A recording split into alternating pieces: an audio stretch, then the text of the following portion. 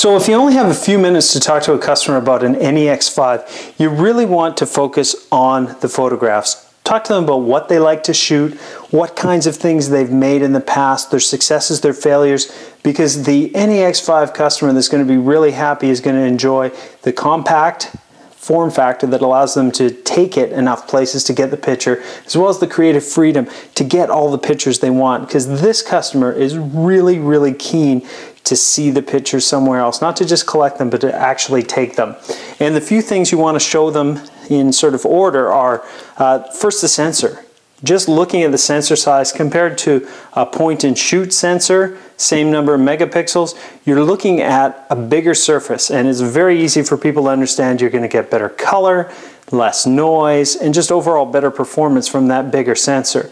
As well, the lenses are pretty obvious to people as well, the creative freedom that you get from that. And there's a few things you want to show about how this camera is going to enable that freedom. And one is the really easy ability to do things like a defocus where you're having a person taking a portrait and you're going to look at that. You just uh, pick your shoot mode. I'm going to pick auto here. And then I get this background defocus right there. And right in the menu, I can just adjust how out of focus the background is.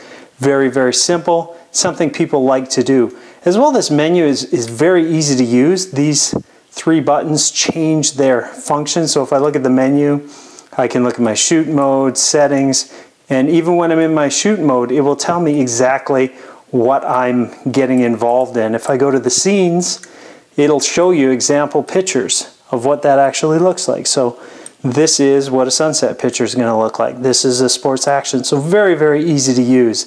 And when you're in any of these modes, if you press this bottom right here, it's shooting tips. So it'll tell you Macro, here's the benefits of shooting a macro. So very, very intuitive camera in terms of it walks you through uh, everything that you need to know about it. You want to show the sweep panorama where you can take a picture, shoot it, and just move the camera across and get an instant panorama.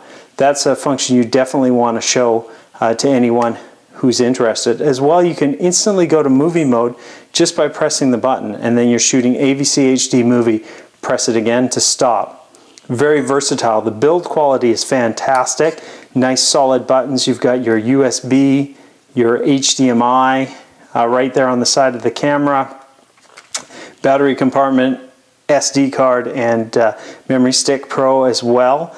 Very nice, beautiful camera. The NEX5 Great for that creative person on the go, the scrapbooker, anyone who wants that balance between the point and shoot convenience and the quality of a DSLR.